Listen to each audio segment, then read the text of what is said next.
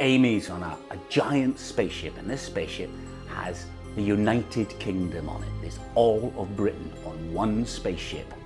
And she's going to find a terrible, terrible secret. What's that?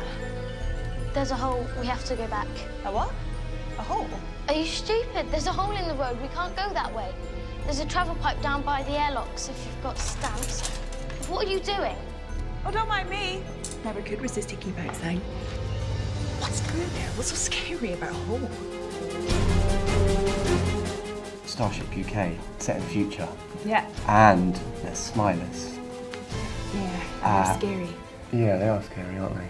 Also, she's going to understand the man she's travelling with. Now that's interesting. What's important in the story is, is, is Amy understanding the Doctor.